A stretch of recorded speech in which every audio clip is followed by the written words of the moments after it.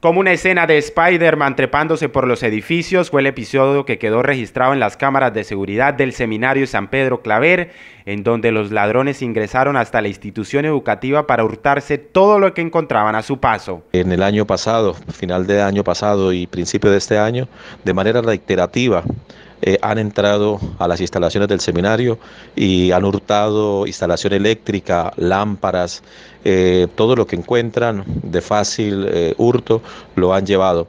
Así lo confirman eh, las grabaciones que en las cámaras ha quedado. Con este hecho es la segunda vez que roban elementos de esta institución. Hace apenas dos meses los amigos de lo ajeno hurtaron el cableado de este centro educativo. Se ha pasado ya el informe a la fiscalía eh, con, pues, haciendo los denuncios respectivos, pero igual siguen eh, estos jóvenes hurtando instalación eléctrica, lámparas, bombillos de las instalaciones del Seminario San Pedro Claver. Mayor presencia de las autoridades en este sector es el llamado a los directivos del Seminario San Pedro Claver, que por segunda vez son víctimas de la delincuencia.